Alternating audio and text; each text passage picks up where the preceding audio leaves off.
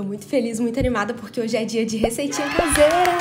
Uhul, eu sei que vocês amam também. E hoje eu vou testar uma receita caseira que foi muito, mas muito, muito, muito pedida por vocês. Quando eu gravei aquele vídeo de Spa Day com receitas de seguidoras, vou deixar o link aqui nos cards. Uma das receitas que eu mais recebi foi o mel de cenoura. E eu não consegui fazer nesse vídeo do spa porque demora para fazer, vocês vão ver. É fácil, mas demora porque você tem que esperar 24 horas, enfim, vocês vão ver aí no decorrer do vídeo. Mas aí eu fiquei muito curiosa para testar, falei, não, vou deixar para fazer depois, porque realmente foi uma receita que vocês me indicaram muito, muito mesmo, que várias meninas falaram que dá muito certo, que super hidrata o cabelo, enfim. E como eu falei, é uma receita fácil e muito barata, gente. Então, se der certo no meu cabelo, eu vou amar. Se você aí gosta de receitinha caseira, clica muito aqui no gostei para eu saber e me conta aqui nos comentários quais as próximas receitas caseiras que você quer ver por aqui. Vamos aproveitar aqui os comentários pra gente trocar dicas. Na maioria das vezes as dicas de vocês dão super certo no meu cabelo, então ó, comentem muito aqui que eu tô de olho. Então é isso, bora lá!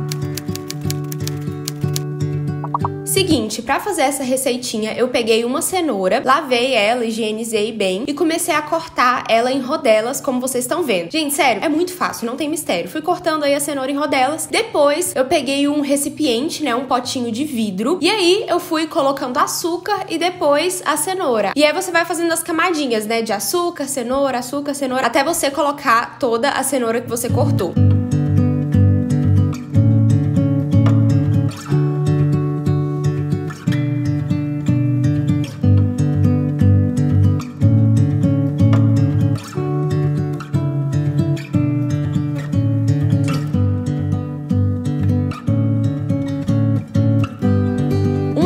O pote que eu usei era muito grande, então deu a impressão que foi pouquinha receita, sabe? Mas é porque o pote era bem grandinho mesmo. Eu vejo algumas meninas fazendo em potinhos pequenininhos de azeitona. Enfim, você pega um potinho de vidro que você tiver aí. E aí eu deixei essa receitinha por 24 horas na geladeira. Ana, 24 horas isso tudo? Sim, tem que ser isso tudo. Eu até tentei ver se tinha como, sabe, se ficava pronto mais rápido, mas não vai render muito, né? Porque quanto mais tempo você deixar, mais vai fazendo esse mel mesmo, né? O açúcar vai derretendo ali junto com a umidade da cenoura e aí vai criando esse mel de cenoura. e aí você me pergunta, Ana, mas por que cenoura? Por que açúcar? Quais os benefícios disso tudo no cabelo? A cenoura é um vegetal rico em vitaminas e tem vitamina do complexo B, vitamina A, vitamina C e tudo isso ajuda muito na hidratação do fio. A cenoura também é antioxidante, né? Isso vai fazer com que previna o envelhecimento do fio e também vai tratar aqueles fios que já estão mais danificados. E pelo que eu pesquisei também, é uma receita que ajuda muito no crescimento capilar, né? Vai tanto auxiliar no crescimento quanto ajudar aqueles fios que já cresceram a se manterem mais saudáveis. Então, para quem tá no projeto Rapunzel, assim como eu, eu acho que essa é uma ótima receitinha. E como eu falei, é uma receita muito barata, né? Você só vai precisar de uma cenoura e um pouco de açúcar, então compensa bastante. E é muito fácil de fazer, como vocês viram, não tem mistério, só demora, como eu falei, porque você tem que deixar por 24 horas na geladeira. Ah, e sobre o benefício do açúcar, né? Ele também ajuda na hidratação do fio e dá muito, muito brilho e maciez pro cabelo. Então, depois que passou essas 24 horas, você vai tirar o mel da geladeira e vai coar. Como eu tô fazendo aí no vídeo, eu já coei nesse recipiente que eu usei para fazer a hidratação. E aí, depois, eu fui adicionando umas 3 a 4 colheres de máscara de tratamento. A máscara que eu usei foi a Power Butter Mask da Soul Power. As máscaras da Soul Power são mais consistentes, então eu quis apostar nessa porque o, o mel já fica mais líquido, né? Então, uma máscara mais consistente iria ajudar ali na hora de misturar e aplicar no cabelo. E aí, eu fui misturando bastante até ficar homogêneo, ó. Como vocês estão vendo, tá bem firme. E agora partiu aplicar. Eu já lavei o meu cabelo com shampoo e vou começar dividindo aqui as mechas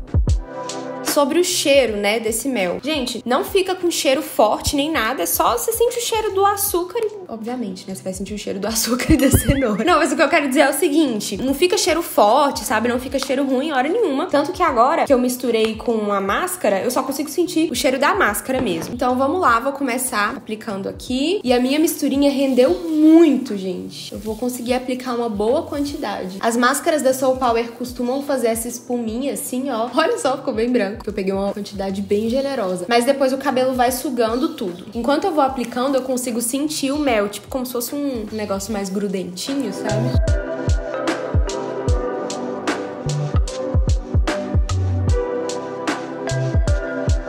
Gente, seguinte, se vocês testarem essa receitinha, me contem lá no Instagram, me marquem nos stories que eu quero ver. E falando em stories, eu lancei recentemente uma aula que se chama O Manual dos Stories. Nessa aula, eu conto todas as minhas dicas e truques para ter um público engajado e fiel lá nos meus stories. Então, se você é digital influencer, pensa em ser, ou tem alguma marca, alguma loja, enfim, as dicas que eu dou nessa aula vão ajudar a fazer com que os seus stories aumentem o engajamento, com que você tenha um público fiel por lá. E eu dou dicas também de como deixar os stories mais organizados, mais bonitos, mais harmônicos e de forma que você consiga transparecer a sua personalidade ou a personalidade da sua marca através dos stories. Enfim, é muita, muita dica, muito truque. A aula tá mega completa por um valor assim simbólico, como eu sempre falo, né? A aula custa apenas R$ 7,90. É realmente um valor muito, muito simbólico porque eu quero todo mundo lá, eu quero vocês participando e eu quero ver de fato o Instagram de vocês crescendo. Essas aulas aí estão sendo uma forma de eu poder passar para vocês tudo que eu aprendi nesses oito anos de apenas Ana, nesses oito anos criando conteúdo aqui pra internet, né? Então eu vou deixar o link aqui embaixo. E é isso. Me acompanhem lá nos stories. Se vocês fizerem essa hidratação, me marquem por lá. E se você quer crescer nos stories, aumentar o engajamento do seu perfil, faça essa aula que você não vai se arrepender. O link tá aqui embaixo.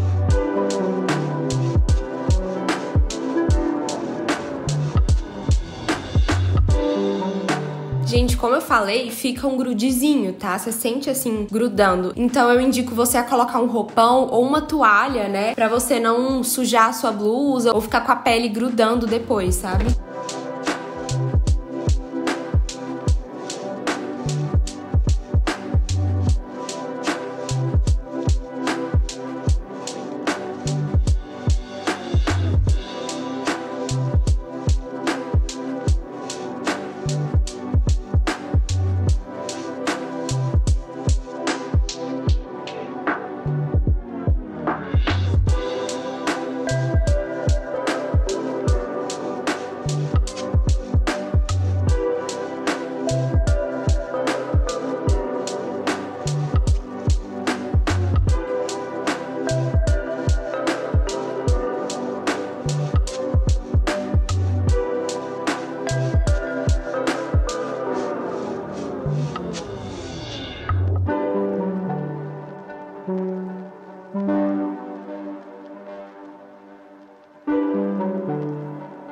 Prontinho, apliquei em todo o cabelo. Ainda tá um pouco branco, assim, por causa da espuminha, mas daqui a pouco o cabelo já vai sugando tudo. Sério, gente, eu consigo sentir muito o mel, assim. Tá bem grudentinho mesmo, sabe? Parece que vai ser power, hein? Estou curiosa. Agora eu vou colocar a touquinha. Vou deixar agir por uns 30 minutos e eu volto com o cabelo enxaguado, condicionado e sem finalizar, para vocês terem uma noção assim de como que ficou o cabelo sem produto algum, se deu brilho ou não, enfim, já volto. voltei, enxaguei, apliquei condicionador, enxaguei de novo. Estou aqui com o cabelo sem produto algum e vou mostrar pra vocês este resultado. Na verdade, eu vou mostrar o resultado também depois que eu finalizar, mas olhem só o brilho que ficou o cabelo, gente. Tá brilhando muito, muito, muito. Eu fiquei chocada. E o cabelo tá extremamente macio, vocês não têm noção. Sério, gente, de cara assim, acho que eu já gostei. Agora eu vou... Bagunça, né? Enfim. Agora eu vou finalizar e eu volto pra mostrar pra vocês o resultado depois depois da finalização para eu contar o que, que eu achei, como que ficou o toque do cabelo e tudo mais. Já volto.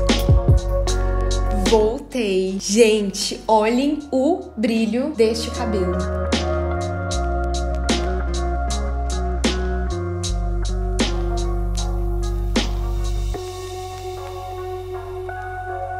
Finalizei, já sequei com secador e mesmo depois de secar com secador, o cabelo continuou muito brilhoso. E o que eu sinto, né, ao tocar no cabelo é realmente muita, muita maciez. Isso é algo que eu consigo perceber assim de cara. Desde antes de finalizar também o cabelo tava muito macio. Então, sinceramente, eu acho que vale muito a pena fazer essa receitinha caseira. Com certeza vou testar outras vezes ou fazer de novo. Fiquem de olho aqui no meu canal, lá no meu Instagram. Com certeza eu quero repetir a dose e eu vou contando para vocês novamente se o resultado continua sendo bom, enfim. Quem já já testou essa receitinha caseira? Me conta aqui nos comentários qual foi o resultado no seu cabelo, qual o seu tipo de cabelo. Enfim, vamos trocar dica aqui nos comentários. Um beijo, fiquem com Deus e até a próxima. Tchau!